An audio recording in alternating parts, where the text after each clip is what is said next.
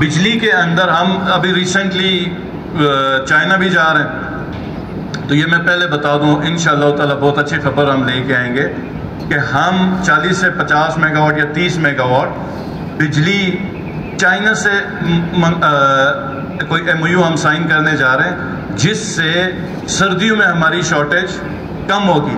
Health recommendation है हुकूमत।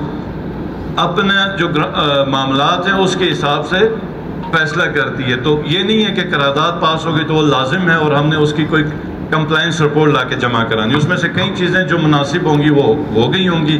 कई चीज़ें उसमें अगर वो मुनासिब हैं तो भी आपको पता है फंड्स की शॉर्टेज नहीं हो गई होंगी क्योंकि हमारे उसका रिकॉर्ड सर हमारे पास वो सेक्रेटरीट स्टाफ तैयार करके बता देगा मसला नहीं है। हाँ। सेकेंडली इस्माइल साहब आप स्पेसिफिक होते कि कौन सी डिपार्टमेंट में कौन सी पॉलिसी ने आना था या आप ला रहे तो अच्छा होता चले आप जनरलाइज दूसरा जो सवाल है इस्माइल साहब का हमने अपने टू इयर्स का एक पूरा प्रोग्राम और कुछ तीन चार पेजेस का बड़ा आ, एक ब्रोशर छापा कि हम लोगों ने क्या क्या किया है क्या क्या नहीं किया लेकिन ये फिर जब हम बताना स्टार्ट करेंगे तो ये ज़्यादा सियासी बहस होगी कि हम क्या अचीव कर सकें और क्या नहीं कर सकें। गिलास आधा भरा हो तो हमेशा जो आर्ग्यूमेंट होता है, जो नाकद होता है, वो कहता है, ये आधा खाली है। और जो उसकी तारीफ़ कर रहा होता है, वो कहता है कि गिलास आधा भरा है। तो हमने अगर इस्माइल साहब समझते हैं कि उनको हमने पीटीआई की जो वर्किंग है तो ढाई साल की, हम दोबारा कैबिनेट में वर्किंग करके हम बता सकते हैं कि हमने क्या किया। लेकिन इसमें मैं हमें एक साल मिले लेता जो हमारे फेडरल में जो हमारी गवर्नमेंट थी हम डेवलपमेंट पैकेज लेके आए। प्रिंसिपल अकाउंटिंग ऑफिसर मुझे याद है कि अपोजिशन के हमारे जो ऑनरेबल मेंबर्स हैं हमारे पे क्रिटिसाइज करते थे कर, कर पहले साल में कि टेंडर्स इस्लामाबाद होते हैं। जनाब स्पीकर ये असम्बली फ्लोर में हम सब बैठे हुए आज तक हमारी जो P P S D P का कोई भी प्रोजेक्ट है उसका गिलगित बल्तिस्तान के साथ टेंडरिंग पे ताल्लुक नहीं होता वो हमेशा ministry of Kashmir affairs tender करती थी। तो प्रिंसिपल अकाउंटिंग ऑफिसर हमने निकाला जो कि हमारे डेवलपमेंट पैकेज का हिस्सा था। इधर टेंडर हो गया। फोर जी हमने ऑप्शन करवाया। हमने सिकरदू का हमने सिकरदू का इंटरनेशनल एयरपोर्ट किया। हमारा केकेज के साथ एक कनेक्टिविटी इस्लामाबाद की थी। हमने इस वक्त शंदूर का दूसरा रोड बन रहा है और शोटर का तीसरा रोड बन रहा है। तो यानी ज़मीनी मामला में हमने जो रोड्स हैं, तीन अतराफ से इस्लामाबाद के साथ कनेक्ट कर रहे हैं। और जो क्या कहते हैं इस्लाम सिकरदू का एक एयरपोर्ट इंटरनेशनल एयरपोर्ट दिसंबर 2021 17 दिसंबर 2021 को इसका अफ्ताह किया। तो ये हमारी कनेक्टिविटी के, मवासलात के निज़ाम के अंदर हमने किया। हमने कंसल्टेंसी करवाई, जो कि एक इश्तहार भी लग गया गिलगित शहर के अंदर ही, सुल्तानाबाद का जो दास है, उसके ऊपर कि ये एक और इंटरनेशनल एयरपोर्ट बन जाए। पावर की जो हमारी सूरत थी, जनाब शगरथन हैंजल ये सारे वो पावर प्रोजेक्ट्स हैं। अताबाद का हम नाम सुनते थे, वो तो कहीं कागजों में भी नहीं था। और कई ऐसे प्रोजेक्ट्स थे जो कि पीएसडीपी से 2012 में अप्रूव थे, जिनके टेंडर तक नहीं हो चुके हुए थे। तो सुने अर्ज़ तो सुने ना? देखें, अगर हमने इधर बहस करनी है क्रॉस टॉक करके तो वो फिर बात नहीं होगी। आपने सवाल किया, मैंने जवाब देना है। अगर आप जवाब सुनने सुन सुन रहे जी मिनिस्टर साहब बात करें जी, वो जनाब स्पीकर पावर प्रोजेक्ट्स थे, वो हैंजल का शगरथन का क्यों नहीं हो पा रहा था? वो इसलिए नहीं हो पा रहा था कि पीएसडीपी की एलोकेशन दो अरब रुपए थी। अब दो अरब रुपए में आप कहें कि इधर मैंने बुर्ज खलीफा बनाना है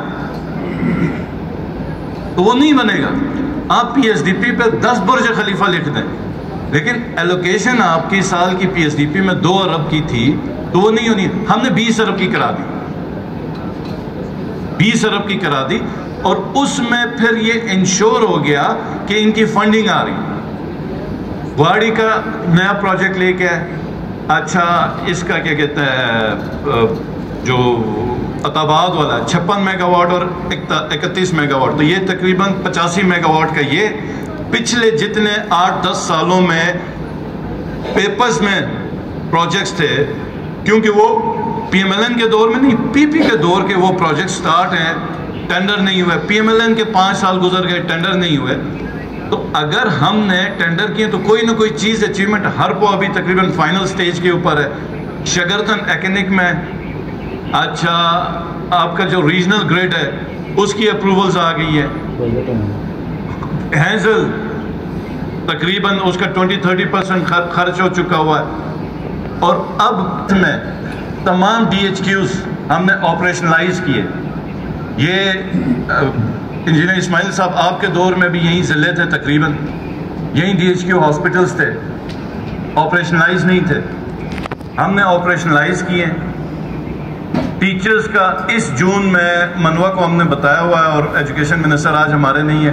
चार, साढ़े चार हज़ार टीचर्स की कमी है, जो कि इन ताला इस जून में कोई गिलगित बल्तिस्तान का school, college, high school, primary school, कोई इंस्टीट्यूशन बगैर टीचर के नहीं होगा। हम एक से डेढ़ अरब रुपए पहली ही फुर्सत में हम निकाल रहे हैं जिसमें हमारे टीचर्स का, ये एजुकेशन का आईटी के टीचर्स हमने भर्ती की है उसके बाद जनाब स्पीकर एग्रीकल्चर के अंदर। प्रोडक्टिविटी के लिए हमने स्पेशल ग्रांट्स रखी हैं जिससे पहली दफ़ा जो छोटा किस, जो किसान है फार्मर है उसको बीज दे रहे हैं जिससे वो अपनी फ़सल को बेहतर करे। और अनफॉर्चुनेटली ये सब जो प्रोजेक्ट्स हैं उसको आ, आ, पैसा चाहिए। कहीं आपकी जो रिफॉर्म्स हैं जो आप पॉलिसी लेवल पे चेंज करते हैं लेकिन कहीं जो आपने डिपार्टमेंट्स के अंदर काम करना उसको आपको बड़ी फंडिंग चाहिए। और इस दफ़ा की फंडिंग ये थी जो हमारा साल गया है, सैतालीस अरब रुपए की हमारी रिकरेंट का बजट था, जिसमें से 42 43 बिलियन हमारी सैलरी थी। तो उसके बाद चार पाँच अरब रुपए पे हमने सैलाब भी करना है, हमने डिजास्टर भी करना है, हमने रोड्स भी करने हैं, हमने तारें भी करनी है ट्रांसफार्मर भी करना है मेंटेनेंस का सारा काम करना है लॉ एंड ऑर्डर करना है पुलिस के पीओल का करना है। एडिशनल जितना भी सैलरी से हट के कॉस्ट है इवन ये असेंबली का जो सेशन चल रहा है, ये सब का सब, जनाब स्पीकर उस चार से पाँच अरब रुपए में तो हमारे पास इतनी स्पेस नहीं थी कि हम जो कई कुछ काम करना चाह रहे थे, वो नहीं कर सके। लेकिन हम इसके ऊपर अगर आप कहते हैं तो हम इसके ऊपर तमाम डिपार्टमेंट्स की भी एक बता दें कि, कि हमने इस इस साथ लेकिन मोटा मोटा मैंने हेल्थ में बताया एजुकेशन में बताया कम्युनिकेशन में बताया ट्रांसपोर्टेशन के ऊपर बताया तो ये मेरे ख्याल में अनफ होगा लेकिन अगर चाहते हैं तो हम पूरी पॉलिसीज़ भी बना दें।